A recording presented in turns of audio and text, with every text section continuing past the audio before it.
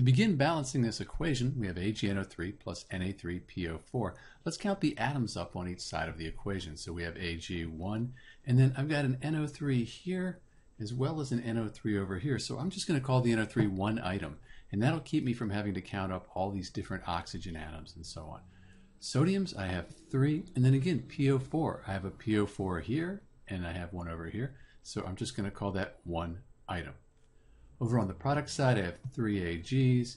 I have NO3s. I just have one of those. Sodiums, I have one of those. And then again, this phosphate ion, PO4, one of those.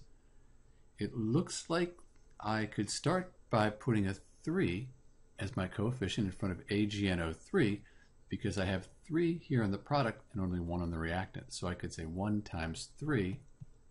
That gives me three AGs, those would be balanced. And then this 3 applies to everything, so I have this NO3 here, and I have three of those. 1 times 3, that gives me three NO3s. So we fixed the AGs, but the NO3 is a problem. Let's leave that for a second. Let's fix these sodiums here. I have 3 here and 1 here. I'll put a coefficient of 3 in front of the NaNO3. Now I have 1 times 3. That gives me 3 sodium atoms. Those are balanced. And this 3 applies to everything again, right? So I have 1 NO3 here times 3. And that gives me 3 of those. And when I do that, the equation is balanced. And that's convenient when we look at these things as a nitrate ion and a phosphate ion. It makes it much quicker and much more efficient to balance.